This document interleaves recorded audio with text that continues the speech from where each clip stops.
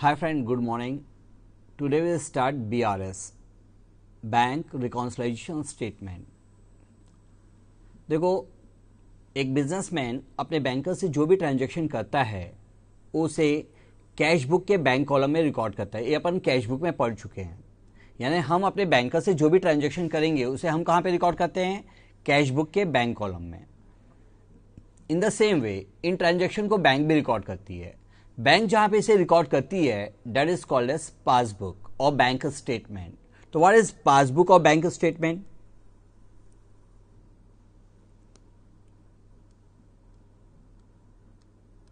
Passbook और bank statement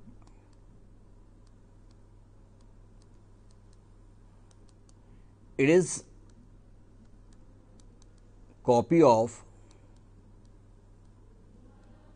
customer account as per bank record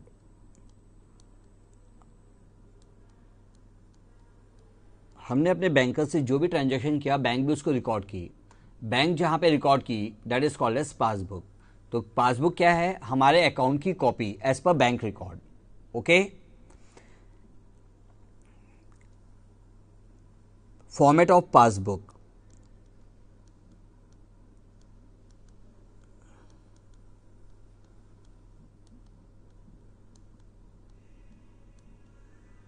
ठीक है?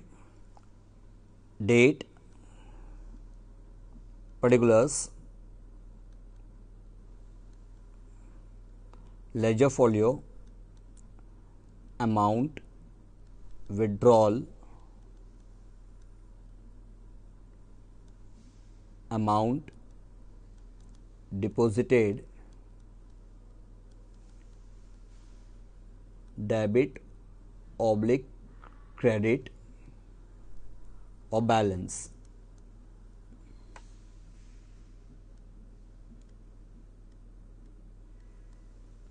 ठीक है what is debited in cash book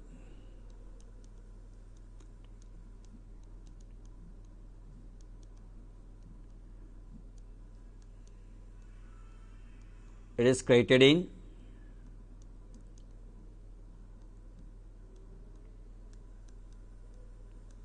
passbook cash book के हिसाब से जो डेबिट होता है, वो सब पासबुक में क्रेडिट होता है. And what is credited in cash book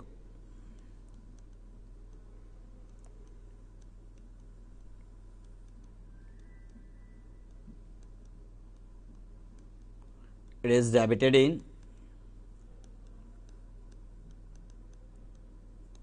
passbook. और कैश बुक के जो क्रेडिट साइड रिकॉर्ड होता है, वो सब पासबुक के डेबिट साइड रिकॉर्ड होता है। It means cash book and passbook.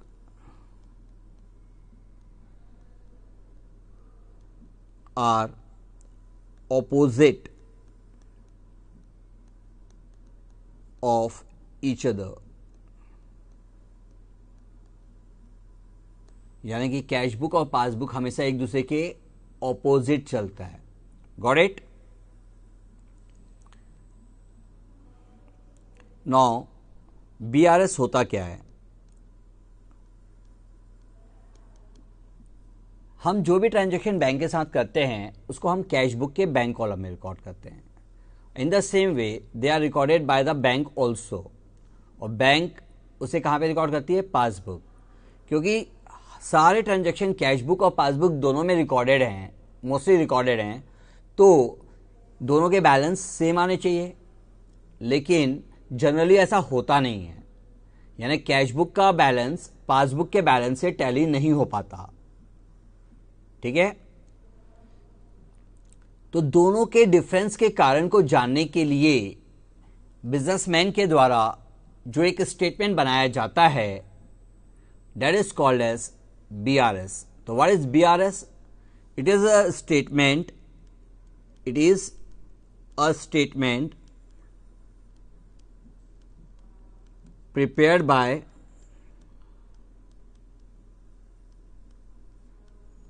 account holder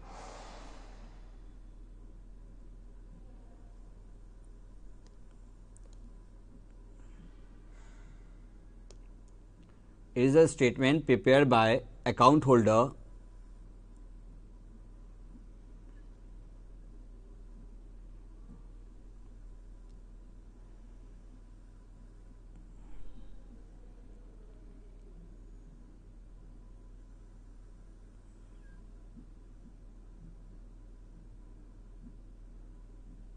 Prepared by account holder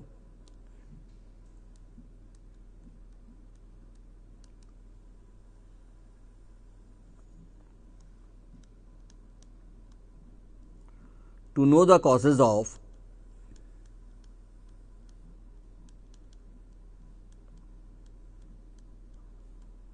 difference between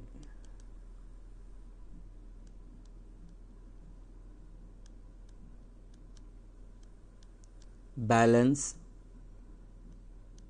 as per cash book and passbook. Got it तो बी आर एस क्या है? एक प्रकार, एक रफ स्टेटमेंट है, जो बिजनेसमैन के द्वारा बनाया जाता है। क्यों बनाया जाता है? ताकि कैश बुक और पासबुक में डिफरेंस क्यों आ रहा है, इस बात को हम डिक्टेट कर सकें, यानी फाइंड आउट कर सकें। ठीक है? तो characteristics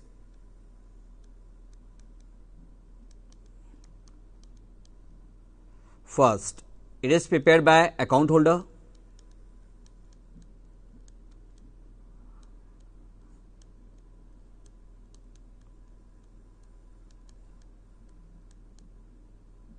Second it is prepared on a particular date.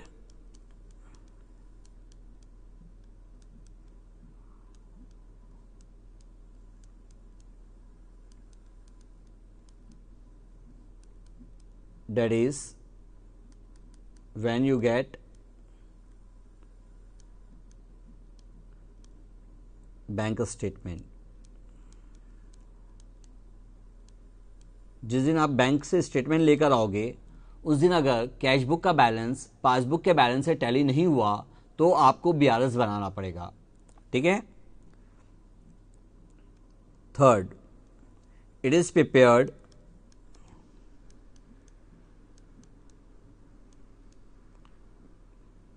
by the help of cash book, bank column and passbook.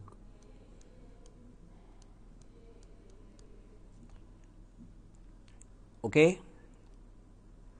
When we need to prepare BRS, when we need to prepare BRS.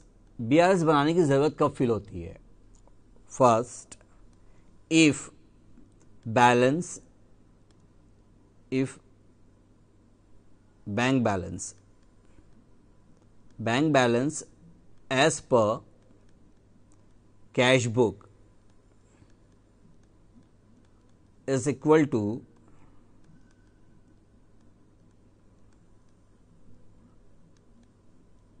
balance as per passbook. No need of BRS.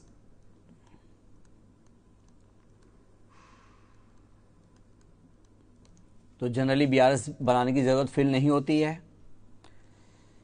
second if bank balance as per cash book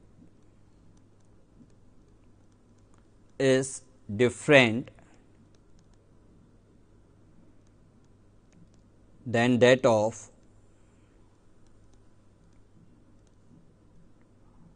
balance as per passbook. Then we need to prepare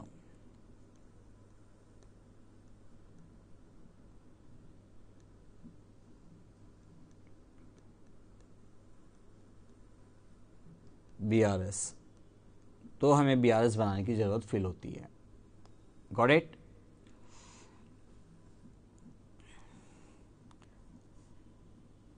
benefits of preparing B R S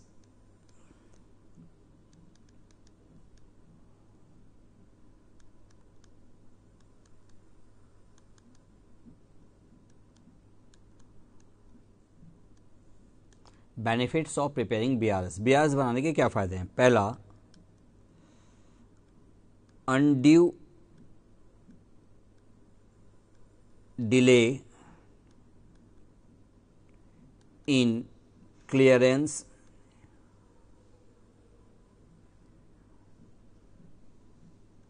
of check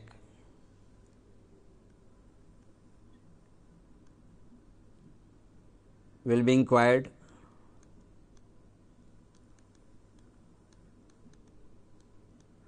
अगर हमारे द्वारा किसी को cheque issue किया गया है और वो चेक अभी तक बैंक के द्वारा पे नहीं हुआ है तो उसके पेमेंट में क्यों देरी हो रही है, इस बात को हम इंक्वायरी कर सकते हैं। Got it second undue delay in collection of cheque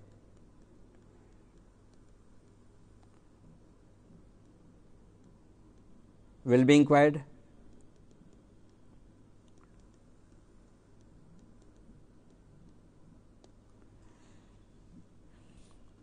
का मतलब है कि अगर हमने कोई चेक बैंक में जमा कर रखा है, और वो चेक अभी तक कलेक्ट नहीं हुआ है बैंक के द्वारा, अभी तक हमारे कलेक्ट करके हमारे अकाउंट में जमा नहीं किया गया है तो उसके कलेक्शन में क्यों देरी हो रही है? क्यों अभी तक वो कलेक्ट नहीं हुआ है? इस बात को हम बैंक से पूछ सकते हैं।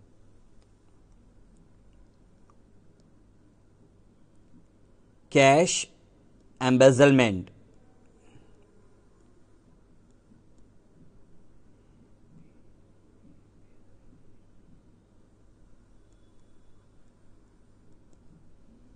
will be dictated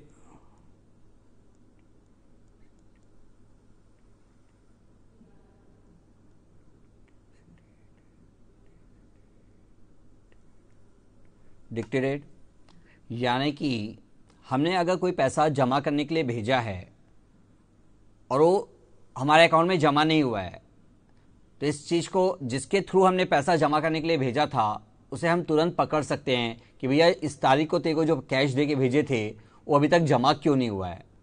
Got it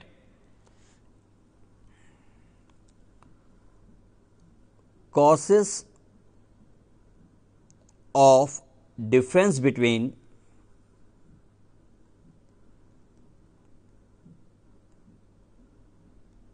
cash book, balance as per cash book and passbook. Balance as per cash book and passbook. दोनों बुक के बैलेंस में डिफरेंस क्यों आ रहा है? के आने का कारण क्या क्या है? First, error in either book.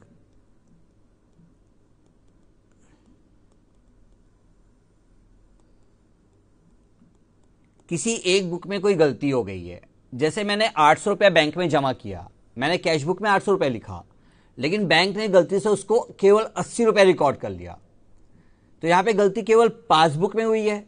अब क्योंकि एक बुक में गलती है तो दोनों का बैलेंस टैली नहीं हो पा रहा है। गॉट इट या फिर बैंक में एक ही नाम के दो कस्टमर है।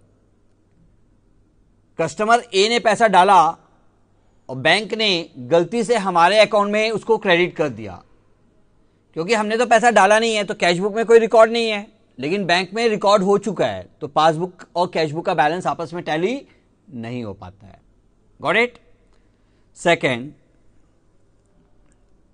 difference in time of recording.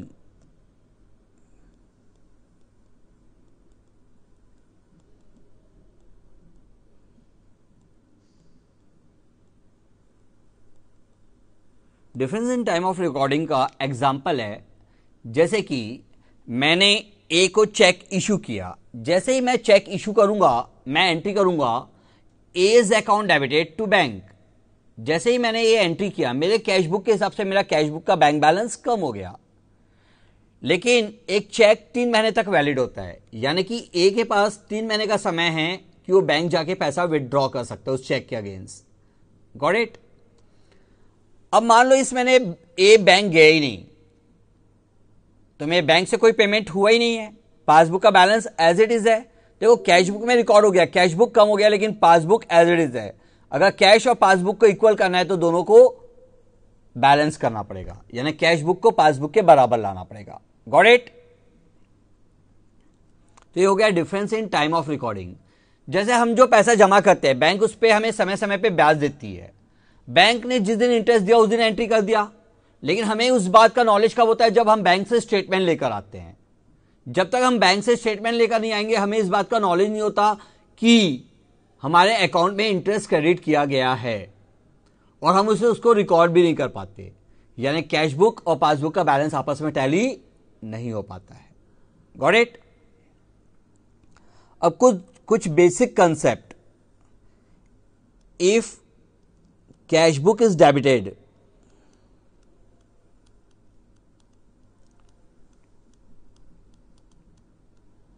इसका मतलब कैश बुक का बैंक बैलेंस बढ़ रहा है। If cash book is credited इसका मतलब कैश बुक का बैंक बैलेंस कम हो रहा है। इफ़ पासबुक इज़ डेबिटेड यानी कैश पासबुक का बैंक बैलेंस कम हो रहा है। इफ़ पासबुक इज़ क्रेडिटेड का मतलब पासबुक का बैंक बैलेंस बढ़ रहा है। ये चारों चीज़ आप लोग को याद रखना पड़ेगा। कौन सा बुक डेबिट होता है तो बढ़ता है और क्रेडिट होता है तो कम होता है। Got it next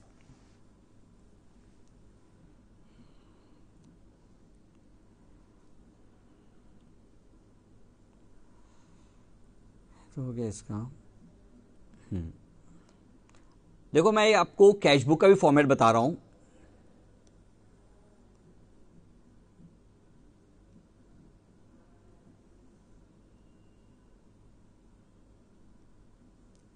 Cash book with bank column है। Okay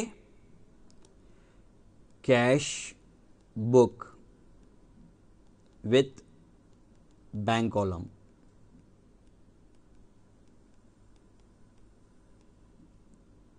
bank bank cash book के डेबिट साइड रिसिप्ट रिकॉर्ड होता है। जो पैसा आया, और क्रेडिट साइड पेमेंट्स जो पैसा गया। अब बोलता है receipt side of cash book undercast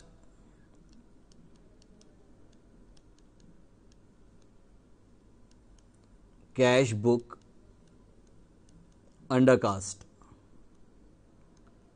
यानी आपने इनकम को कम लिख दिया है। अगर इनकम कम लिखा है तो जो कैश बुक का बैंक बैलेंस बचेगा, वो भी कम आएगा, क्योंकि हमने इनकम ही कम लिखा है तो बैलेंस भी कम आएगा तो कैश बुक का बैंक बैलेंस डिक्रीज हो जाएगा। Receipt side of cash book overcast overcast यानी हमने इनकम को ज़्यादा लिख दिया है। अगर इनकम ज़्यादा लिख दिया है तो बैलेंस भी ज़्यादा आएगा।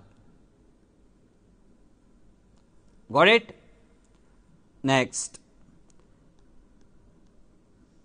payment side of cash book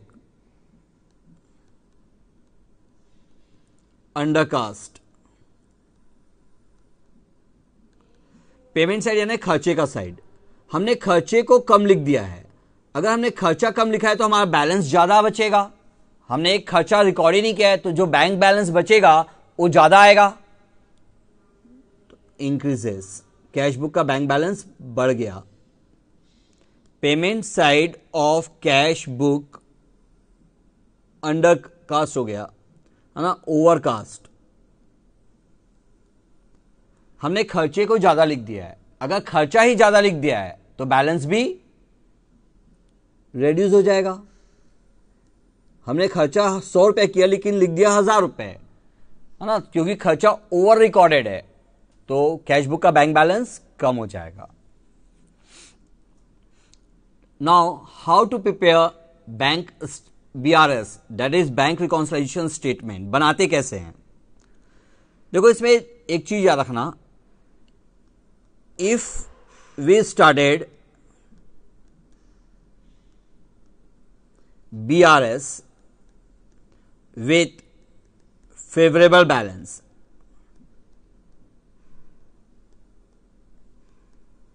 Favourable balance का मतलब है कैश बुक का डेबिट बैलेंस या फिर पासबुक का क्रेडिट बैलेंस किसी भी बुक का फेवरेबल बैलेंस होना चाहिए। अगर हमने फेवरेबल बैलेंस से चालू किया है बीआरएस बनाना तो started with plus column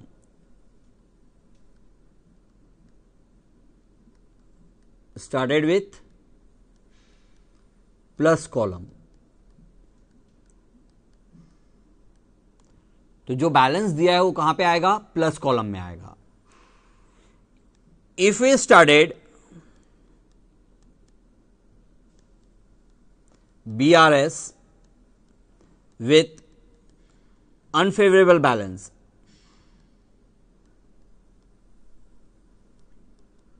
और overdraft balance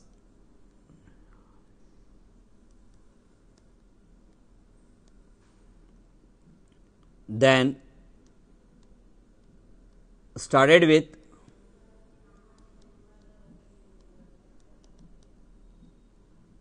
minus column.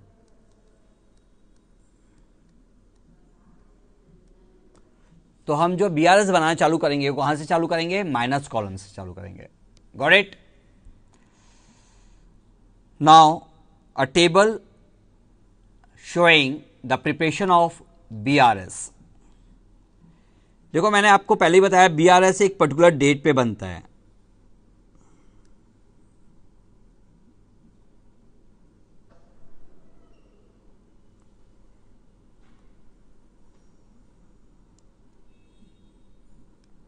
Bank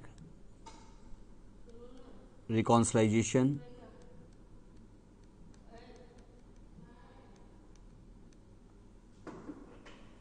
statement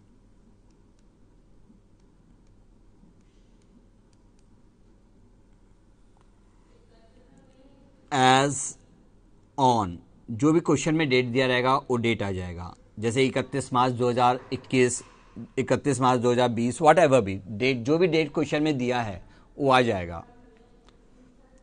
Particulars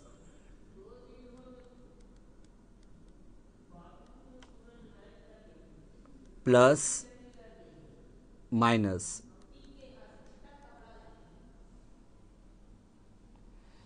particulars plus minus okay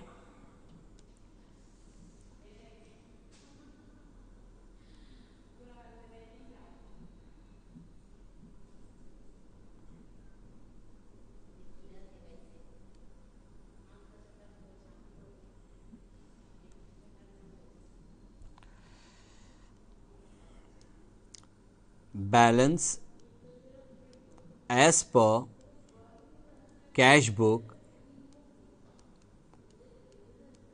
debit.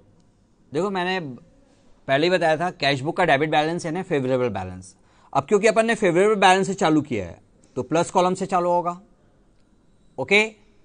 Now remember one thing कि your right hand is your cash book and your left hand is your passbook आपका जो right right hand है, वो आपका cash book है और आपका जो लेफ़्ट हैंड है, वो आपका पासबुक है। अब क्योंकि हमने कैश बुक से बीआरएस बनाना चालू किया है तो हमारा एम क्या है? हमें पासबुक के बराबर जाना है। और हमारा कैश बुक हमारे पासबुक के बराबर कब आ सकता है? ओनली वैन केवल एक ही टाइम पे आ सकता है, जब हम वही सारे transaction as it is record करें, जैसे कि वो पासबुक में रिकॉर्डेड है। यानी कि जैसे कोई ट्रांजेक्शन पासबुक में रिकॉर्डेड है, हम उसको अगर वैसे ही रिकॉर्ड कर दे कैश बुक में भी तो दोनों का बैलेंस इक्वल हो जाएगा। गॉट इट फॉर एग्ज़ाम्पल मैंने ए को चेक इशू किया। जैसे ही मैंने ए को चेक दिया, मैंने एंट्री किया as account debited to bank जैसे ही मैंने बैंक को क्रेडिट किया, मेरा कैश बुक का बैंक बैलेंस कम हो गया। कैश बुक का बैंक बैलेंस कम हो गया। लेकिन पासबुक एज इट इज़ है।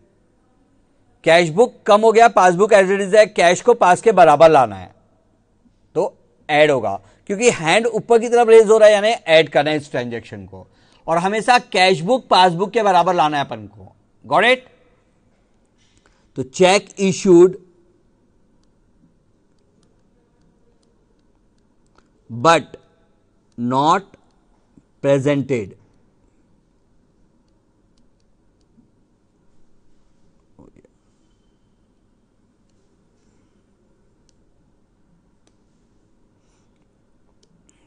second मैंने बी को चेक इशू किया। बी बैंक गया बैंक से पैसा विड्रॉ कर लिया। देखो बी बैंक से पैसा विड्रॉ कर रहे हैं तो यहाँ पे रिकॉर्ड कौन किया?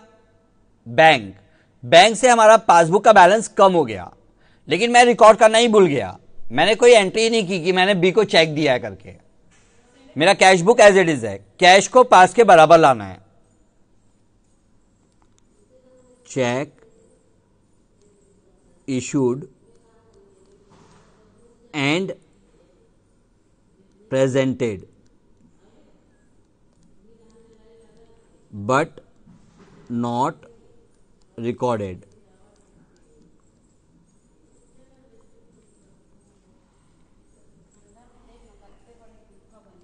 Okay now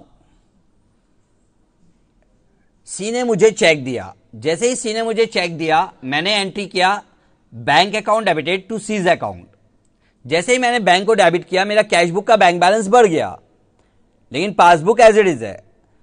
कैश बुक बढ़ा हुआ है पासबुक एज इट इज़ है। कैश को पास के बराबर लाना है। नीचे आ रहा हैंड तो फिर से less cheque deposited but not collected okay D ने मुझे चेक दिया। डी ने मुझे चेक दिया। मैंने कैशबुक में रिकॉर्ड कर लिया। जैसे ही डी ने मुझे चेक दिया, मैंने एंट्री किया bank account debited to D मेरे कैशबुक का बैंक बैलेंस बढ़ गया। उस चेक को मैं अभी भी अपने जेब में लेके घूम रहा हूँ। अभी तक मैंने बैंक में डाला ही नहीं है। Passbook as it is cash को पास के बराबर लाना है। फिर से हैंड नीचे आया। Cheque receive and recorded, but not deposited.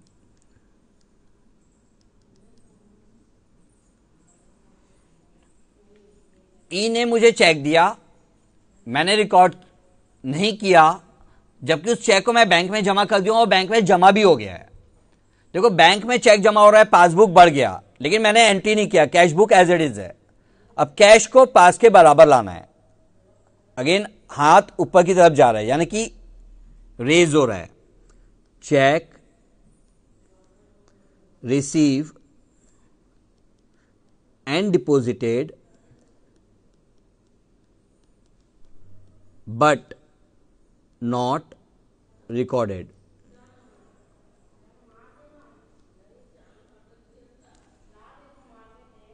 देखो, हर बिजनेसमैन चाहता है कि वो अपने कस्टमर्स को बेस्ट से बेस्ट सर्विसेज़ दे। और इसी कंसर्न में एफ़ मेरा जो एक कस्टमर है, उसको बेटर सर्विसेज़ देने के लिए मैंने क्या किया है कि उसको बोला, भाई, जब भी पैसा लेना देना रहता है ना तो यहाँ तक आने की ज़रूरत नहीं है। ये मेरा अकाउंट नंबर रखो, सीधा मेरे अकाउंट में पैसा जमा कर दिया करो। जब सामान लेना रहता है तो ही दुकान आया करो। पैसा डाल, देने के नाम से दुकान तक आने की ज़रूरत नहीं है। एफ़ बैंक गया, मेरे अकाउंट में पैसा जमा कर दिया। क्योंकि मेरे अकाउंट में पैसा जमा हो रहा है तो सीधा पासबुक बढ़ गया। लेकिन मुझे इस बात की कोई रिपोर्टिंग नहीं है, कोई नॉलेज नहीं है। ना एफ़ ने बताया, ना बैंक ने। मेरा कैश बुक इज़ है। कैश बुक को पासबुक के बराबर लाना है। Cheque sorry amount amount directly deposited by customer.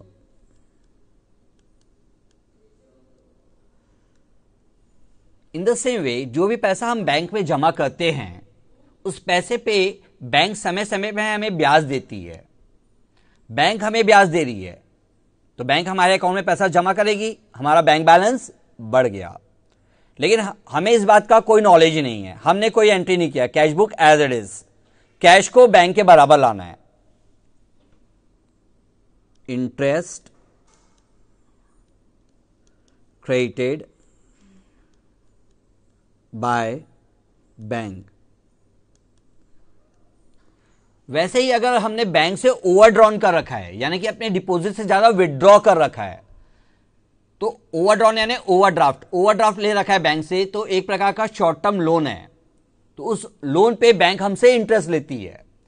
अब बैंक हमसे इंटरेस्ट ले रही है, यानी हमारे अकाउंट से अकाउंट अमाउंट डिडक्ट कर लेगी। बैंक हमारे अकाउंट से अमाउंट डिडक्ट कर रही है। हमारा बैंक बैलेंस कम हो गया। Cash book as it is है। कैश को बैंक के बराबर लाना है। इंटरेस्ट और बैंक चार्जेस या किसी अदर प्रकार के charges debited by bank bank हमसे ले रही है।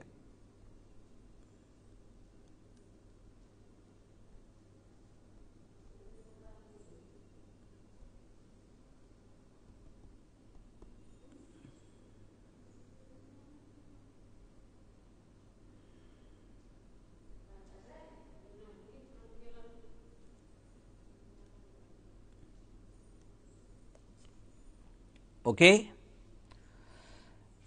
वैसे ही बैंक हमारे कुछ पेमेंट्स डायरेक्टली कलेक्ट कर लेती है। जैसे हमारे को एक बिल हमारे पास एक बिल रिसीवेबल है, जिसका पैसा हमें अगले महीने मिलने वाला है। अब मान लो जिस दिन पैसा मिलने वाला है, उस दिन हम उस अपने सिटी से बाहर हैं। तो बैंक एक सर्विस देती है कि भैया, आप सिटी से बाहर हो, कोई बात नहीं, आप अपना बिल हमें दे दो, हम कलेक्ट करके आपके अकाउंट में जमा कर देंगे। हमने अपना बिल अपने बैंकर को दे दिया। बैंक उस डेट पे पार्टी के पास गई उसे पेमेंट कलेक्ट की और हमारे अकाउंट में जमा कर दी। क्या हुआ? हमारा पासबुक बढ़ गया। अब सेम डेट पे हमको भी याद आए कि आज हमारा कलेक्शन होने वाला है ज़रूरी तो नहीं है। हमने कोई एंट्री नहीं किया। Cash book as it is cash को पास के बराबर लाना है। Amount directly collected by bank वैसे ही हमारे कहने पे बैंक हमारे कुछ पेमेंट डायरेक्टली पे कर देती है। जैसे कि मेरे को मालूम है, हर थर्ड मंथ पे मेरे को अपने LIC का पेमेंट करना है। तो मैंने अपने बैंक को इंस्ट्रक्ट कर रखा है कि हर तीसरे महीने के 28 तारीख को मेरे LIC का पेमेंट कर देना। बैंक पे कर देती है। अब बाय चांस मेरे को उस डेट पे याद ना आए कि आज के डेट पे मेरे अकाउंट से इतना पैसा डिडक्ट होने वाला है और मैं कोई एंट्री ना करूँ। देखो बैंक ने पे कर दिया पासबुक कम हो गया, लेकिन मैंने एंट्री नहीं किया। Cash book as it is है। कैश को पास के बराबर लाना है।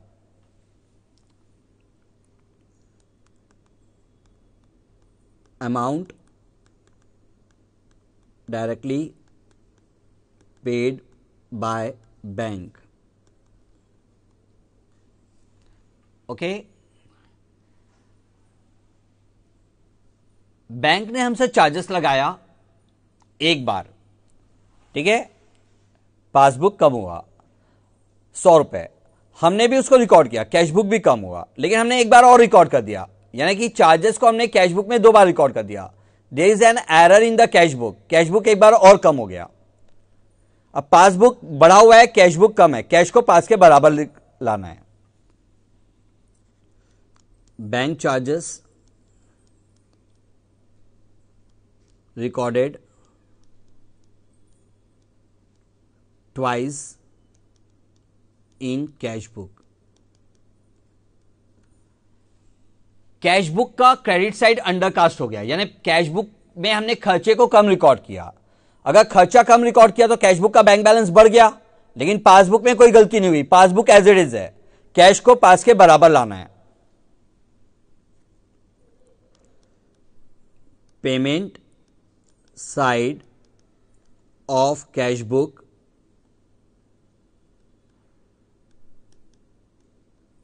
undercast.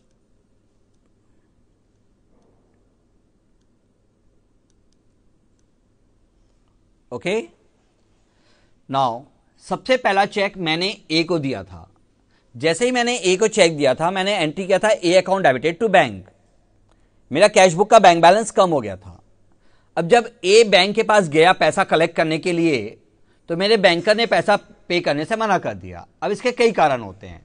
जैसे चेक में दाग लग गया है चेक फटा हुआ है चेक में ओवर राइटिंग है जिसको मैंने सर्टिफाई नहीं किया है। फिगर्स एंड वर्ड्स के अमाउंट टैली नहीं हो रहे हैं। साइन मैच नहीं कर रहा है। मेरे अकाउंट में बैलेंस नहीं है। ऐसे कई कारणों से चेक का पेमेंट नहीं होता। बैंक ने पेमेंट नहीं किया। कैश बुक कम है पासबुक एज इट इज़ है। कैश को पास के बराबर लाना है।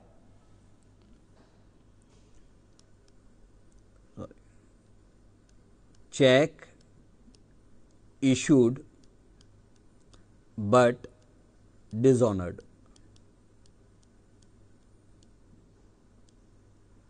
in the same way मैंने एक चेक जमा किया। जैसे ही मैंने चेक जमा किया कैश बुक का बैंक बैलेंस बढ़ गया। लेकिन जब मेरा बैंकर उस चेक को कलेक्ट करने गया पार्टी के पास पार्टी के बैंकर के पास तो पार्टी के बैंकर ने पैसा देने से मना कर दिया कि भैया मैं चेक में कोई फॉल्ट है। बैंक ने पैसा कलेक्ट नहीं किया। मेरा bank balance as it is है। कैश बुक बढ़ा हुआ है पासबुक एज इट इज़ है। कैश को पास के बराबर लाना है। Check deposited, but dishonored.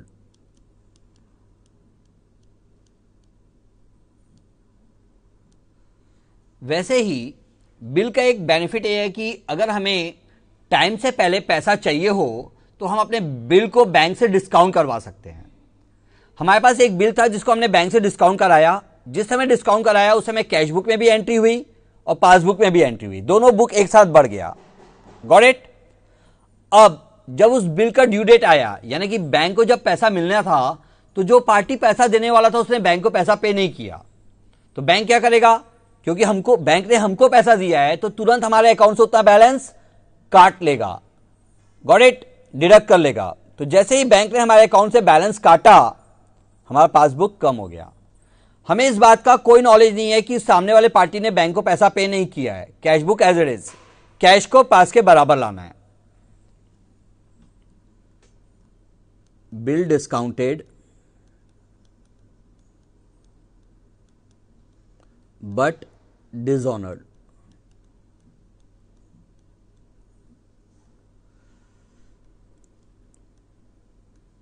दोनों कॉलम का टोटल करेंगे। अगर मान लो प्लस कॉलम का टोटल ज़्यादा है और माइनस कॉलम का टोटल कम है तो जो डिफरेंस आएगा, उसको हम माइनस कॉलम में लिखेंगे। और लिखेंगे, बैलेंस एस पर हमने कैश बुक से चालू किया तो अब क्या आएगा? Passbook. क्योंकि हमने प्लस कॉलम से चालू किया था और डिफरेंस माइनस में आ रहा है तो डेबिट का क्या हो जाएगा? क्रेडिट हो जाएगा। बाय चांस एक मिनट के लिए सोच के देखो कि अगर हमने चालू प्लस से किया है और प्लस का टोटल कम आ रहा है, माइनस का टोटल ज़्यादा आ रहा है तो डिफरेंस को कहाँ पे लिखोगे आप? प्लस कॉलम में लिखोगे। अगर सेम कॉलम में आ जाएगा, अगर डिफरेंस अगर डिफरेंस सेम कॉलम में आ जाएगा तो डेबिट का डेबिट ही रह जाएगा, क्रेडिट नहीं होगा। Got it? Okay?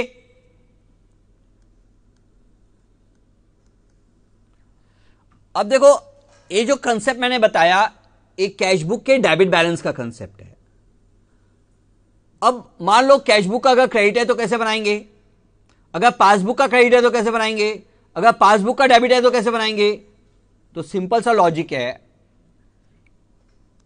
If we started B R S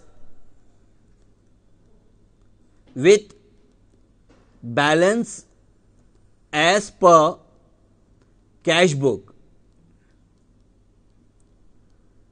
Do as direct, do as directed. चाहे कैशबुक का डेबिट बैलेंस हो चाहे कैशबुक का क्रेडिट बैलेंस हो आपको जैसे बताया गया है वैसे ही करना है यानी सोचने से प्लस आया तो प्लस में लिखो सोचने से माइनस आया तो माइनस में लिखो कोई चेंजेस करने की ज़रूरत नहीं okay okay?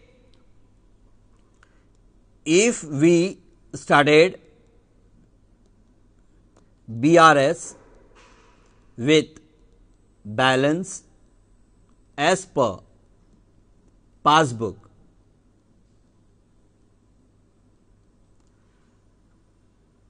do the reverse.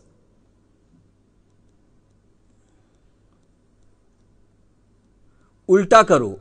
उल्टा करो का मतलब अगर हमारे सोचने से प्लस आ रहा है तो उसको माइनस कॉलम में लिखो। और सोचने से अगर माइनस आ रहा है तो प्लस कॉलम में लिखो। ठीक है? क्लियर? अब एक चीज़ याद रखना, सोचना क्या है? देखो, दिया, जो दिया है वो लिख देना। लिखते समय जो दिया है वही लिखना। लेकिन लिखना वही है जो क्वेश्चन में दिया हुआ है। लेकिन हमेशा सोचना है कि हमको कैश बुक का बैलेंस दिया है और हमको पासबुक के बराबर जाना है। क्योंकि मैंने आपको जो सोचने का तरीका बताया, वो पूरे कैश बुक के कंसेप्ट से बताया है। पासबुक के हिसाब से नहीं बताया इसलिए पासबुक में मैं क्या बोल रहा हूँ? आप उल्टा कर देना। जो भी आप सोचे हो उसको उल्टा करते जाना। उल्टा सोचने की ज़रूरत नहीं है। सोचने से जो आया उसको उल्टे दैट इज़ ऑपोजिट कॉलम में लिख देना। बस इतनी सी बातें याद रखना कैशबुक में, यानी बीआरएस में। सारे कंसेप्ट आपके क्लियर रहेंगे। सारे क्वेश्चन सॉल्व हो जाएँगे। ठीक है? चलो ओके